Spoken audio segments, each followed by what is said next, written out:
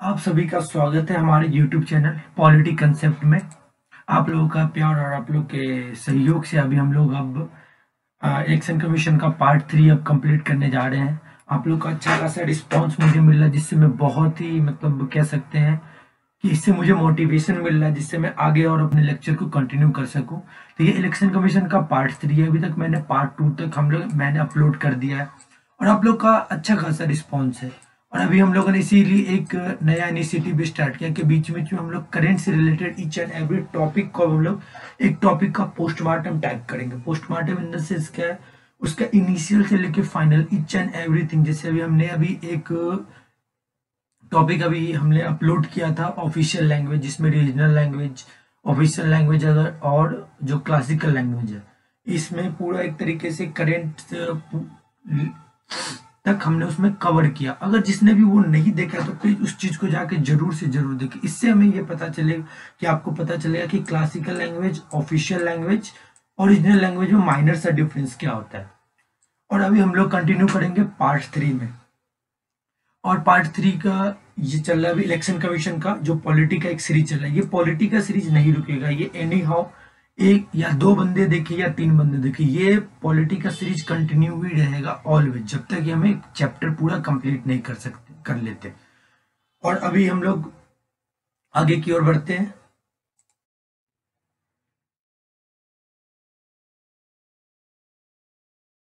चलो, अब थोड़ा सा पहले अभी हम लोग ये कंप्लीट कर लेते, फिर थोड़ा सा बात करेंगे। एक से दो मिनट ज़्यादा नहीं लेना आपका। टाइम अब इलेक्शन करवाते तो है तो इम्पोर्टेंस क्या इलेक्शन कराने का? देखो इलेक्शन कराने का इम्पोर्टेंस देखो, सबसे पहला इम्पोर्टेंस क्या होना, आपके पास राइट है। क्या राइट है? अगर आपको कोई गवर्नमेंट अच्छी नहीं लगी, कोई गवर्नमेंट का आपको क्या ना वर्क अच्छा नहीं लगा, या ऑन फ़ील्ड ऑफ़ हमारे बेसिक रिक्वायरमेंट पे या बेसिक कहीं पे भी तो आप क्या कर सकते हो? जैसे मान लो लोकल लेवल पे भी आपको इलेक्शन होता है। नगर पालिका हो गया या म्यूनिसपैलिटी हो गया, या मान लो कोई जैसे पंचायती राज है तो वहाँ तक भी आप क्या कर सकते हो? पाँच साल में आपके पास एक मतलब एक इक्वल फेयर आपको वो इलेक्शन करवाने का रिस्पॉन्सिबिलिटी देते इंपॉर्टेंस देखो। मैंने चाइना में क्या होता है, एक ही पॉलिटिकल पार्टी है और क्या करता है, वही के पाँच बंदे खड़े कर देता है। अच्छा ए बी सी डी ऐसे करके वो क्या करता है, पाँच बंदे वो अपने एक ही पार्टी के खड़े करवा दे अब तुमको उसी में से चुनना ये लो, ये कौन सा इलेक्शन हो गया? ये फेयर इलेक्शन थोड़ी ना होगा। इसका इंपॉर्टेंस का मतलब क्या होता है? एक पार्टिसिपेशन भी होता है।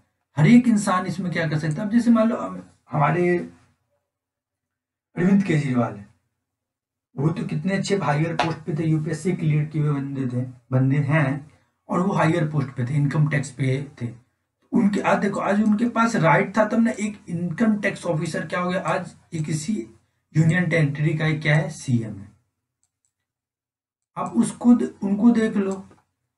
पंजाब के इलेक्शन का, पंजाब के जो सीएम है, वो क्या थे पहले? आज से दस साल पहले अगर उनका हिस्ट्री उठा के देखो, क्या था? लेकिन आज क्या, उनके पास एक अपॉर्चुनिटी इंपॉर्टेंस के इलेक्शन का मैं ये बता रहा हूँ।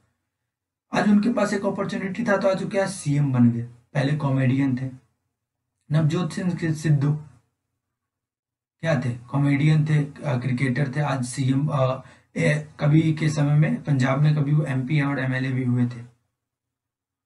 सचिन तेंदुलकर राज्यसभा में थे कुछ समय में। क्रिकेटर इतने अच्छे हैं।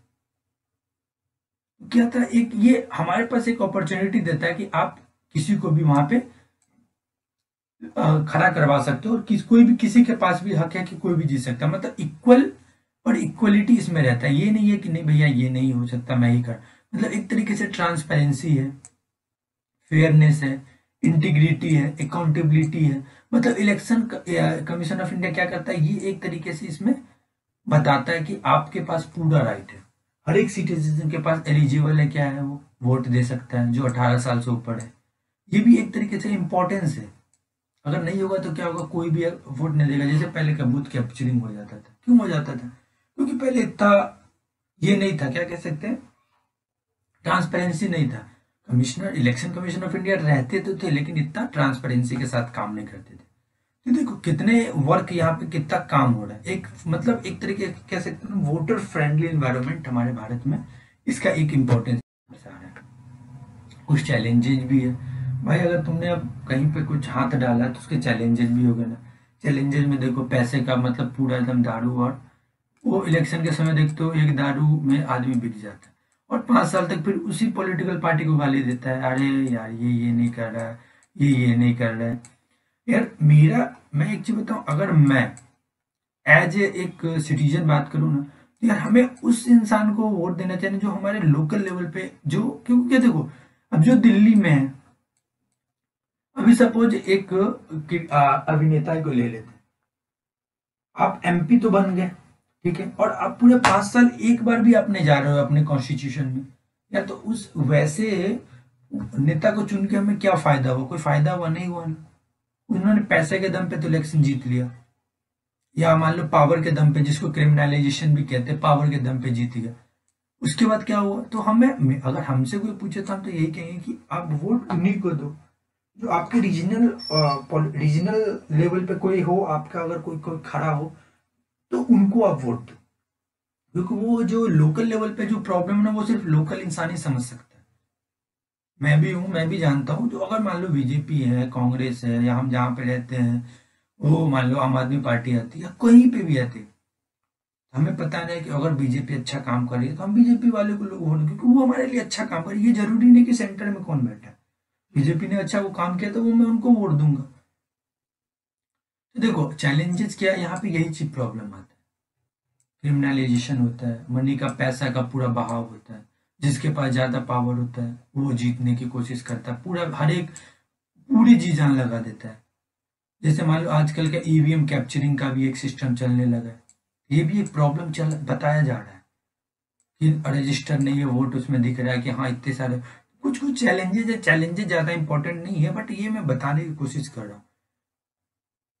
डिस्क्रिमिनेशन होता है कि हाँ बीजेपी वाले आ, कोई भी खड़े हैं उनको दे दिया या कांग्रेस वाले कोई भी। भाई उनको क्यों देना?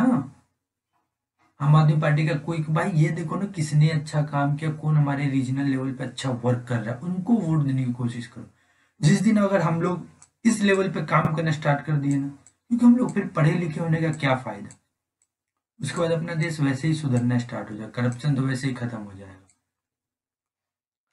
आई थिंक यहाँ तक अगर कोई प्रॉब्लम हो तो चीज़ के बारे में बताना। अब देखो, कुछ ऐसी बात है अभी मैंने इलेक्शन कमीशन ऑफ़ इंडिया के बारे में बताया दूसरा, और मैं हर एक चैप्टर को मैं बताने की कोशिश करूँगा। अगर मैं एक चीज़ बस बता रहा हूँ, अगर इस समय भी अगर आप कोई प्रॉब्लम आ रहा हो हम मैं नहीं समझ पाया या मेरे से ये चीज़ नहीं बन पाया तो एक चीज़ मैं बता रहा हूँ ना।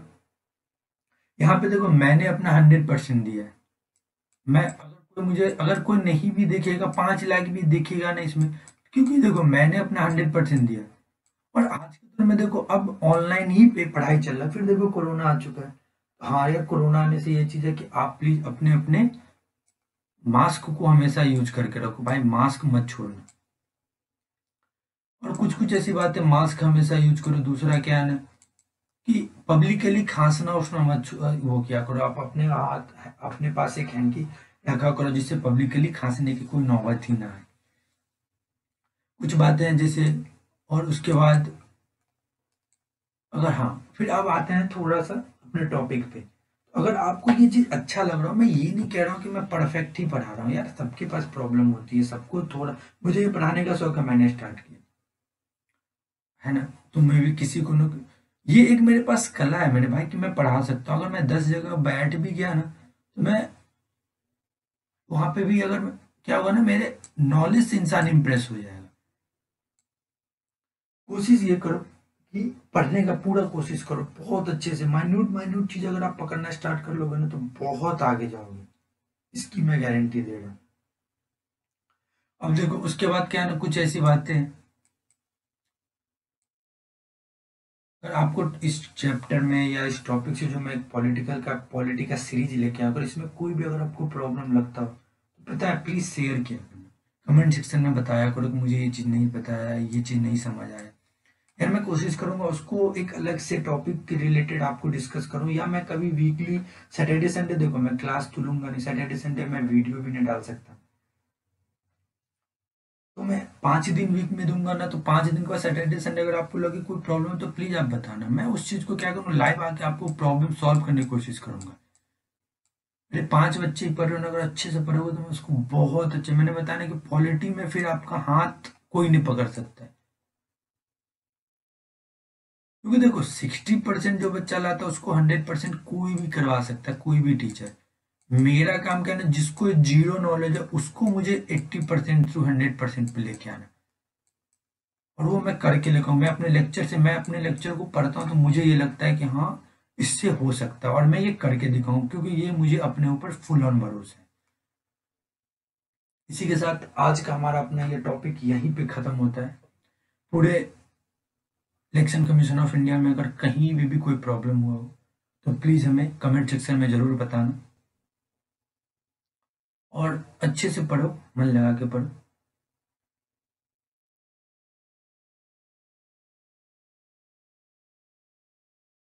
ये कुछ आर्टिकल है जो इलेक्शन कमीशन से रिलेटेड है। प्लीज़ आप इसको गो थ्रू हो जाना। मुझे कोई अच्छा सा मिला नहीं तो मैंने इसको ही डाल दिया। एक बार आप गो थ्रू हो जाना। आर्टिकल 324 में क्या बोल रहा है? आर्टिकल 325 में क्या बोल रहा है? आर्टिकल 326 में क्या बोल रहा है? आर्टिकल 327 में क्या बोल रहा है? आर्टिकल 328 एंड आर्टिकल 329 में। ये तो वैसे मैंने पूरा एक चैप्टर में कंप्लीट कर दिया, लेकिन एक बार ये गो थ्रू ज़रूर हो जाना, जिससे आपको अच्छी तरीके से इसका रिव्यू हो जाए कि कौन से आर्टिकल में क्या बोला जा रहा है। ओके इसी के साथ हमारा पॉलिटी का ये एक और चैप्टर कंप्लीट होता हुआ, जिस चैप्टर का नाम था इलेक्शन कमीशन ऑफ़ इंडिया और हमने यहाँ पे अभी इस चैप्टर को कंप्लीट कर लिया है।